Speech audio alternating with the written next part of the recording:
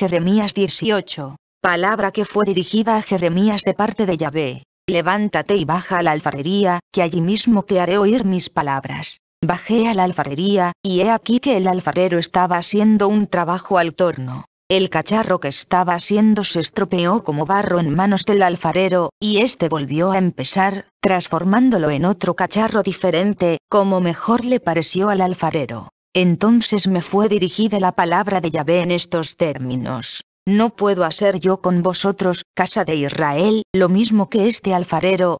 Oráculo de Yahvé. Mirad que como el barro en la mano del alfarero, así sois vosotros en mi mano, casa de Israel. De pronto hablo contra una nación o reino, de arrancar, derrocar y perder. Pero se vuelve atrás de su mal aquella gente contra la que hablé, y yo también desisto del mal que pensaba hacerle y de pronto hablo, tocante a una nación o un reino, de edificar y plantar. Pero hace lo que parece malo desoyendo mi voz, y entonces yo también desisto del bien que había decidido hacerle. Ahora, pues, di a la gente de Judá y a los habitantes de Jerusalén. Así dice Yahvé. Mirad que estoy ideando contra vosotros cosa mala y pensando algo contra vosotros.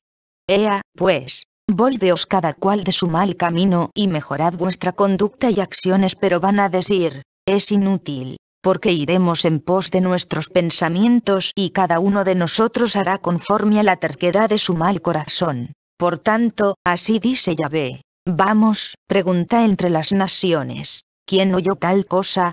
Bien fea cosa ha hecho la Virgen de Israel. ¿Faltará acaso de la peña excelsa la nieve del Líbano, o se agotarán las aguas crecidas, frescas, corrientes. Pues bien, mi pueblo me ha olvidado. A la nada inciensan. Han tropezado en sus caminos, aquellos senderos de siempre, para irse por trochas, por camino no trillado. Es para trocar su tierra en desolación, en eterna rechifla. Todo el que pasaré se asombrará de ella y meneará la cabeza. Como el viento solano los esparciré delante del enemigo la espalda, que no la cara, les mostraré el día de su infortunio. Entonces dijeron, Venid y tramemos algo contra Jeremías, porque no va a faltarle la ley al sacerdote, el consejo al sabio, ni al profeta la palabra.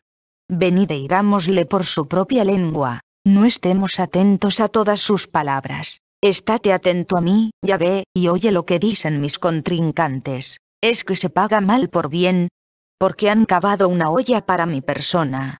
Recuerda cuando yo me ponía en tu presencia para hablar en bien de ellos, para apartar tu cólera de ellos. Por tanto, entrega a sus hijos al hambre y los a filo de espada. Queden sus mujeres sin hijos y viudas, sean sus varones asesinados, sus mancebos acuchillados en la guerra. Oígase griterío en sus casas, cuando traigas sobre ellos pillaje repentino porque han cavado una olla para prenderme, y trampas han escondido para mis pies. Pero tú, ya ve, conoces todo su plan de muerte contra mí.